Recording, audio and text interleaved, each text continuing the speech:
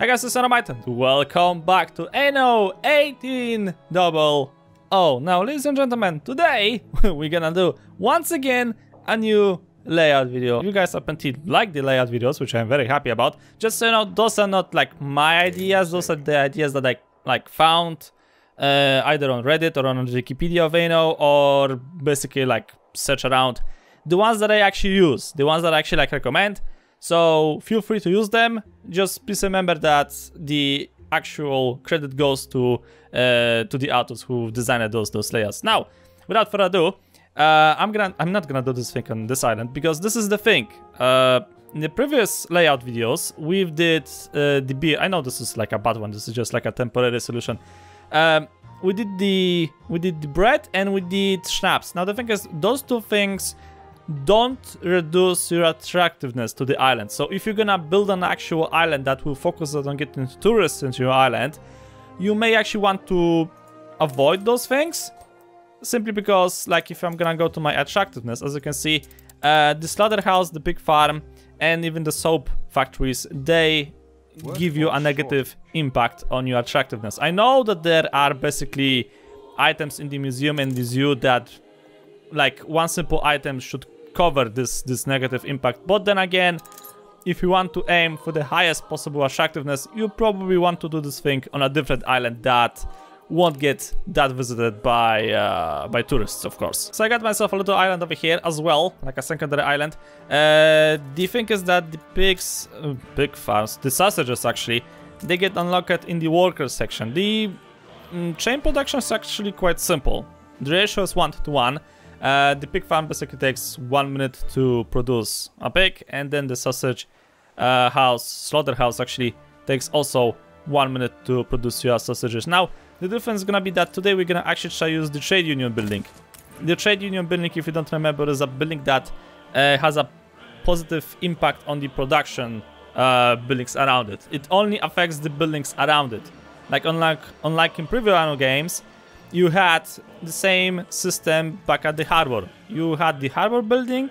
The harbor building uh, had one card per upgrade. So on level 1 it had one card, on level 2 it had two cards, and on level 3 it had three cards. You could put like different types of cards into that harbor, either like adding uh, fertility to the land, uh, affecting the houses or service buildings, or affecting the actual production buildings, farms or the actual factories. The trade union is basically that system but on a smaller scale, since this thing will affect only the buildings uh, that are within the circle.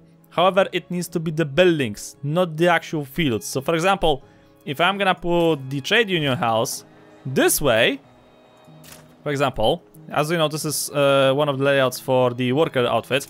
Now, for example, this ship farm has fields here and one field over here. And even though that this field is outside of the range of the trade union house, it still be affected because it's the actual building that matters. As usual, we're gonna start in a corner as all of those layouts are basically based on a box design, right? So one way or another, this is still a box, uh, like a square.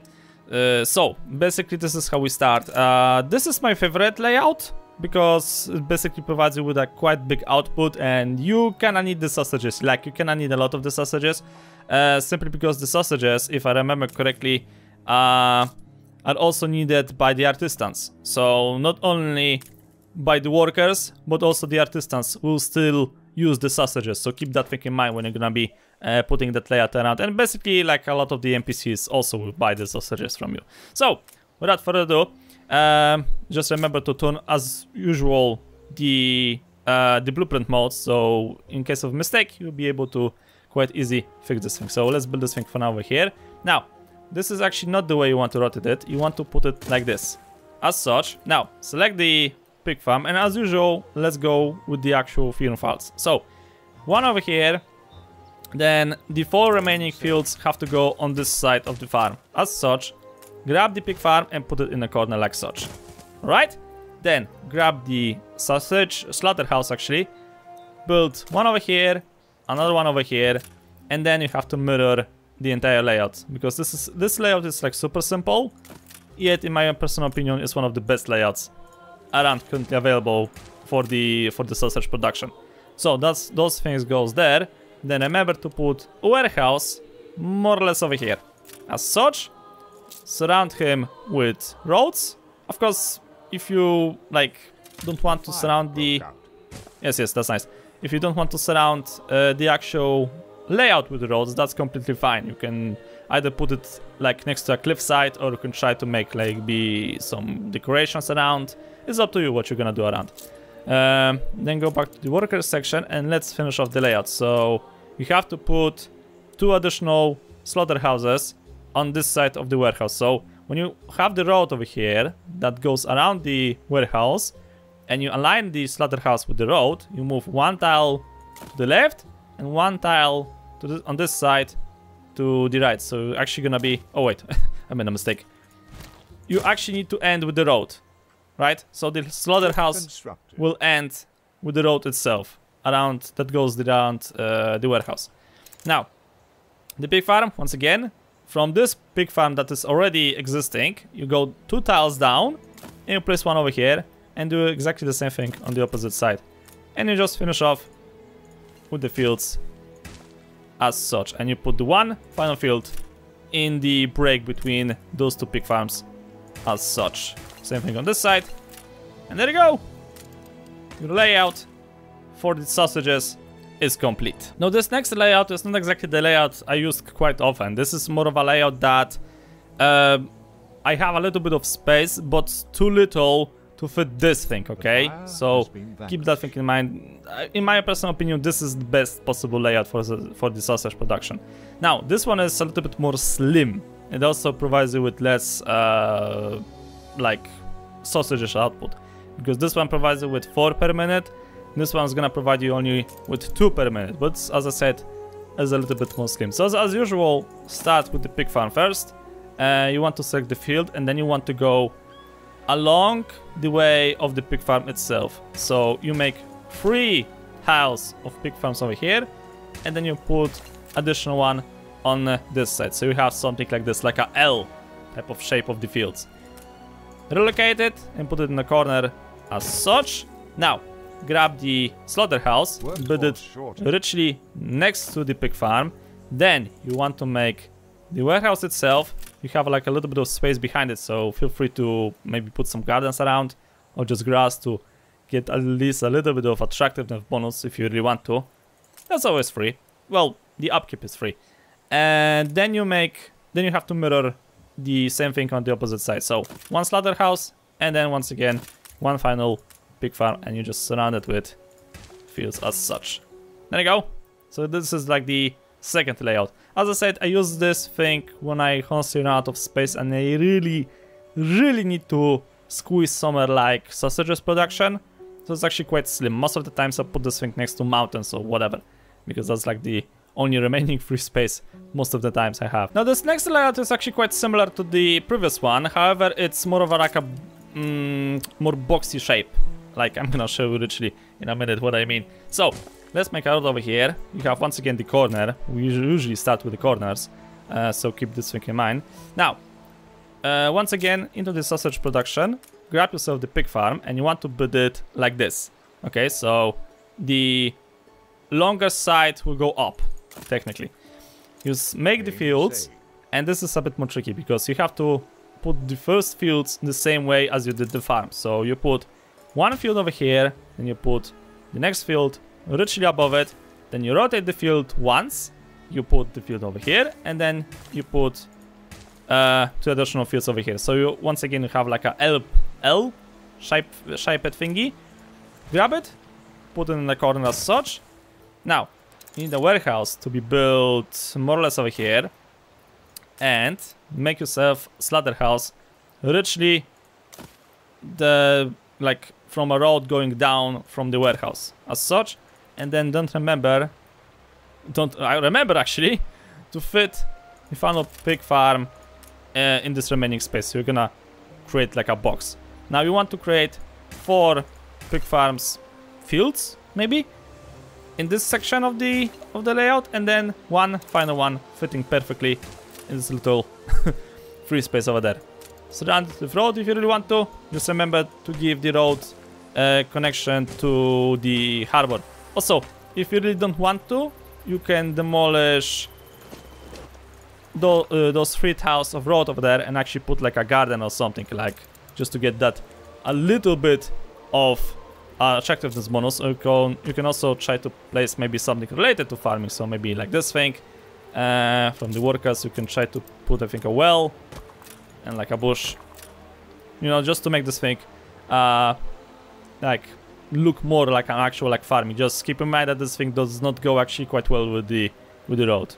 But hey, you can have everything, right? Now this next layout is actually without the warehouse. Which look at that. It's only one sausage per minute, so it's actually good for very small islands, very small outposts if you outposts if you really need to build it.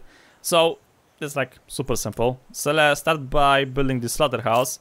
Try to put it, let's say, here. Then you build next to it the pig farm, and then you just surround it the upside, upper side of this of this box with pig farms. So to go over here, the this way shaped it, and then you rotate this thing and you build the three remaining ones over here. And as such, you make yourself like a super slim, super small uh, sausage chain production. Now this final layout is not exactly a layout that I use quite often. I actually use it maybe once. Uh, simply because I think it's a bit of a waste of the road system. But then again, if you like want to upgrade the warehouse to its maximum level, then I think this warehouse, I mean this layout, would actually uh, be more useful for you. Simply because the warehouse has access to four different roads going outside of the layout itself. So you can, for example, put on the edges some different factories that will have like, let's say quite quick access to a warehouse. But then I remember that it has to be an upgraded warehouse, otherwise you're gonna just block yourself and the sausage production uh, will just not be efficient as it's supposed to be. So, um, let's actually use this corner over here. Like this is more than enough if you think about that. So go to, once again to the sausage chain, uh, chain production. You start with the pig farm as usual. Uh, actually, with just one. You select the pig farm and you need to make the fields first. So rotate the field as such. Make two fields going down this way and without changing the actual orientation of the field, you build three more over here as such. Grab the farm, put it in a corner as such. Now, you want to make the slaughterhouse over here, make leave some space for a road, make another slaughterhouse over here, and then you have to mirror the entire, uh, like, this side, or corner actually, of the layout itself. So, slaughterhouse, two tiles to the side, place the pig farm, and then make yourself a few fields. And then just remember to put two additional fields as such over here. Uh, warehouse in the middle. Mm, I think it should be actually here. Yeah, it has to be over here. Then you can make yourself like a road that goes outside of this way. You can make yourself a road that goes outside to this way. And then you can make yourself a road that goes outside to this way as well. So as I said, you have four different roads that could go to different factories outside of the layout itself. Maybe make it next to the mountains. If you have like, let's say, one single deposit of iron or coal or something like that, then like one warehouse should be capable of maintaining the unloading and unloading of resources. Uh, oh yeah, I didn't finish actually the layout. So once again, we need two pig farms over here, and then you finish this thing with slaughterhouses over here. Now finish it with quickly, just a free pig farms over here, pig fields actually, as such, and there you go. The final layout for the sausage production is ready. So as you can see, very simple, uh, fitting quite nicely. Just remember about the attractiveness thingy. Now, I'm just gonna show you quickly how exactly does the trade union works wonderfully. Uh, to be honest, I think it should affect this thing. I don't remember. I think I used this layout before with the trade union and it actually worked. So if I'm gonna play this thing around nicely, it should actually work. Uh, for better, like, let's say, use of terrain, you should rotate this thing and make it so that the trade union will go outside to this side. As such, so that this C, or whatever they're gonna call this thing, shaped road thing, will then lead to the trade union. So that means I have to rotate the entire layout and put the same thing on this side. So it's gonna look more or less like, imagine that there will be like sheer space over here. So it'd look like, flip this thing 190 degrees, 80 degrees, and put like another uh, similar layout over here and you should get yourself quite the production. Also, if you really want to, you could try to squeeze some pig farms over here for like additional uh, production. But let's try to use the first idea. So I'm gonna try to build you... Yeah, I think this should work. I think it actually like last time worked. So let's actually build this thing quickly. Now, if you like wonder, how exactly does this thing is supposed to affect the pig farms? Alright, where do you get the people who work in the trade union? You get them from the prison. All of the people I found, I got from the prison, from this guy. So from time to time, he gets actually really cool people that you can buy from him and uh, put in the trade union uh, buildings to get like a maximum output. Ah, this is quite lucky. So for example, this is one of the guys I use. He affects only the slaughterhouse. He reduces the maintenance cost by 50% and also he adds extra goods uh, to the output thing. So basically he makes he makes items out of thin air because reasons. Uh, there's like a chance I'll actually get one more. Don't think so. Just wanted to show you, but I guess I'm not that lucky. Uh, sadly, no. we are not lucky enough to actually get additional guy. Well, oh well, it happens. So, back to the uh, trade union building over here. Grab the trade union and let's put those guys into use. Now remember, those are all the people I found from the prison guy. So, this one is the first one, affects the slaughterhouse and pig farms, both. So really good for this layout.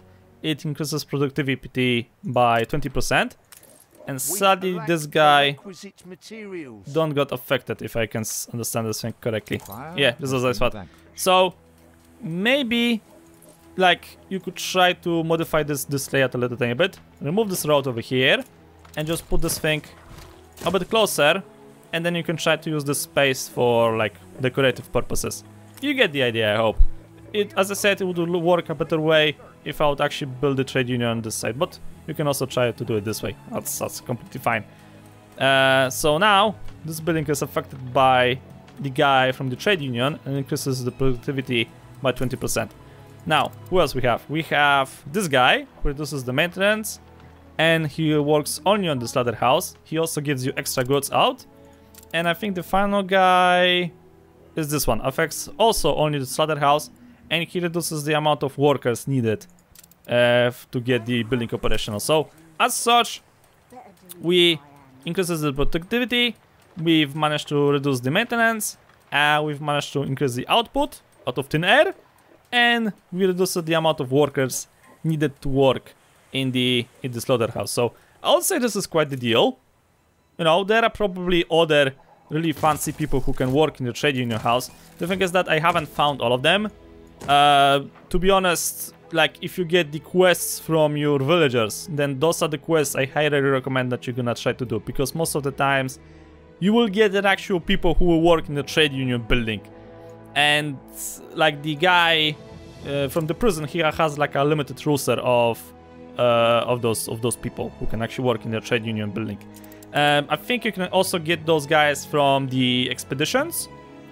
I'm just simply not exactly sure which one. Probably the rescue missions, but I'm not sure. I haven't tested them all yet.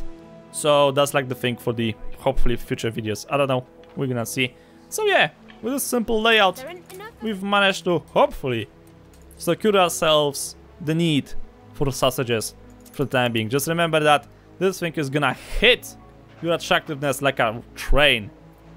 So you may actually want to probably uh, sacrifice one island and build only, let's say, the soap and the uh, sausage production on that island. So that is gonna for sure not get visited by any tourists because that's gonna be simply a waste. And if I remember correctly, the harbor for the tourists is like around 500 bucks uh, of upkeep that you need to basically pay. So I hope you get the idea. Anyway, ladies and gentlemen, I think this is a moment I'm gonna cut this video over here. Uh, more layouts will come.